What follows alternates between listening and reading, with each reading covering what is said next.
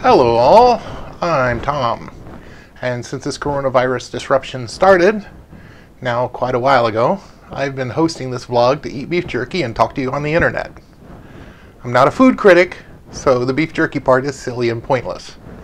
But this vlog has let me explore some fun ideas with you, especially regarding game design, and I plan to keep doing it. So today is the 12th of January 2021. I'm still doing this vlog because it really wasn't about the year 2020. It was really about connecting through the pandemic. And that's still going on. It's very exciting to hear uh, that the vaccine is out there, people are getting it. I actually just talked to my doctor last week who said that she'd gotten her first shot in the arm the day before I saw her. So basically, right around the 1st of January, my doctor got a shot. So that is something. Somebody's getting a shot somewhere. And I sure hope that a lot more people can get it soon, including me and including you. Um, so, it's episode 56 or so, not a big round number. Um, let's get right to our picture that we're going to talk about today about games. I would like to talk about um, user generated uh, goals. So, as you can see from this Kotaku article, uh, somebody played a very popular game and in it did something quite amazing. Um, of course, it's all you know relative. It's only amazing within that game and within that thing. But still, people are like, "Wow, that was really amazing what they did."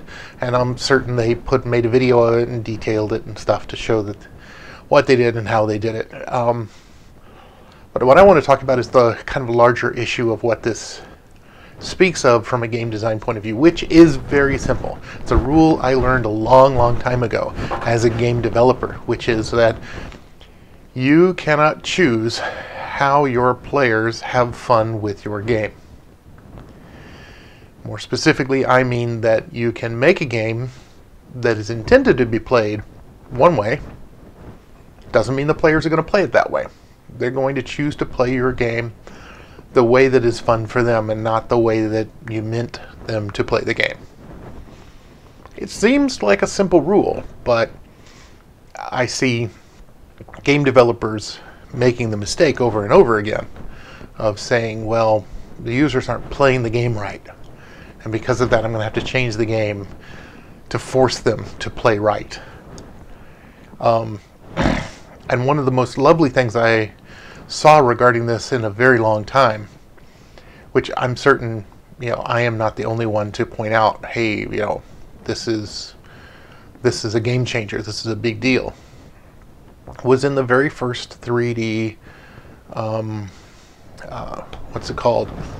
the very first time that people played uh, Grand Theft Auto in 3D, because that was, I think, on the PlayStation 2 and I had been playing it.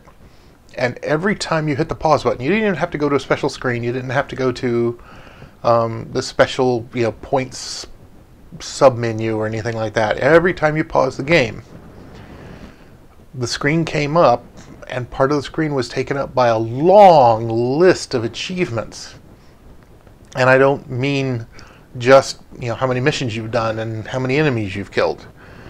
Um, what was distinctive about this list of achievements was how silly and mundane it could be. You know, number of cars jumped over, sure, but also number of uh, footsteps taken, a number of miles gone, sure, but also a uh, number of uh, civilians run over, and a uh, number of uh, meals eaten, and number of stop signs smashed, and so on and so forth all of these very like you know number of chickens killed, number of you know number of sunsets seen, this kind of thing. Um, and at first it was fun. It was like, oh, look at that, haha, that's cool. You know, all this kind of silly, all this you know, number of chickens, haha. Um, but then that, as a player, that quickly was like, oh, I didn't know you could do that. I didn't know you could do anything with the manhole covers or I didn't know you could kill chickens in this game. So it automatically was kind of like a tutorial, just looking at this list of things you could theoretically do that the game would track for you told you more about how the game worked than you realized before. And then on top of all that, uh, you looked at the list and said, oh, well, number of planes flown. That sounds exciting. I'm going to try to, you know, really work hard to fly planes so that that number can go up. And of course, if we you know, set the, the Wayback Machine for that particular game, Grand Theft Auto 3, which was the first 3D Grand Theft Auto, came out on the PlayStation 2. It came out right around the time of the falling of the Twin Towers and the attack on 9 11. And it certainly wasn't the first or last time that Rockstar Games, um, I think were the people who made it, um, had done something controversial with their game.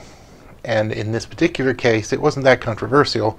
It's just that that happened. They were finishing up the game, and they realized that yes, you could take off from the airport. You could take steal a plane and fly it and crash it into the twin towers.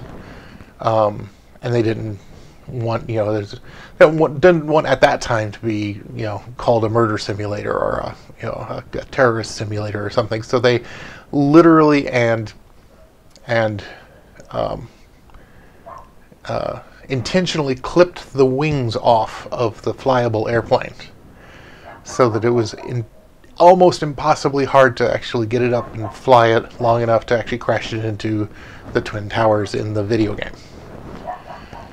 Uh, this is kind of a side thing because it's not what I wanted to talk about. It's just you know it's an interesting little nugget of video game history. Um, but again, what I thought was really interesting about Grand Theft Auto 3 was its nice long list of both fantastical and mundane uh, uh, um, achievements that were tracked by the game. It gave players not only a way to say, hey, I didn't know you could do that, but also gave players a way to say, hey, if I do that weird thing, the game will keep track of it. Maybe even reward me for getting a hundred of them. Um, and that goes back to the screenshot that I was showing you. And the general idea that players make their own fun. Players choose their own goals. Many players don't, but many players do. And their goals are different. This particular player chose to make a super impossible shot with a bow and arrow. Um, and as a game developer, I'm entirely comfortable with the idea that I should build a world and let people play in it. I should not tell them how they can have fun. I have certainly seen from the first to the last day of my career that no, people play games differently in different ways, different people there is, as a game developer, I basically don't have any ability to tell them they cannot play the game that way. Uh, so I don't even try and I don't want to. Uh, and kudos to this guy for finding a goal that he can be happy about. And kudos to Nintendo for making a game that is flexible enough and broad enough that players can find their own goals, choose their own goals, and have fun in the way they think is fun. So that's what I wanted. To, that's just what I wanted to say about about that image. Okay, let's get to the main event, which is the jerky. I do not think that I have eaten Oberto teriyaki beef jerky on this channel. However, this is the 56th episode, and I've actually realized that I've done a terrible job of documenting all this jerky. So I'm pretty sure I have not eaten this flavor yet before, but I can't say for sure because I really haven't documented it. So actually, I'm going to go back in the next few weeks and kind of add to the description in the videos to make sure that every video description details what is the actual jerky I'm eating that week. So that I don't get into a situation like this again where I'm like, have I already done this on this thing? Don't think I have, so let's try Oberto Teriyaki Beef Jerky. I don't expect it to be super bold. Here's a nice piece.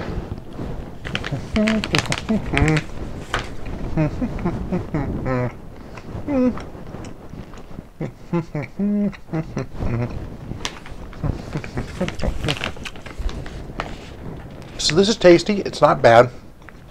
It tastes very store-bought though. I would not say that it's completely unbold, but uh, mostly it's just completely inoffensive.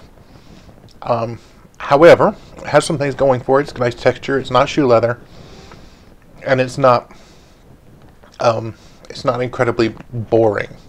Uh, it's just you know completely middle of the road reasonable stuff. This is about the, I would expect this is the best quality you can get from the corner store. That's how it tastes to me. Not bad at all. Mm, even enjoyable. Not Stroyo's level of bold, but then what else is? Uh, and generally I like it. Good stuff. All right. So, finally, let's talk about the mailbag.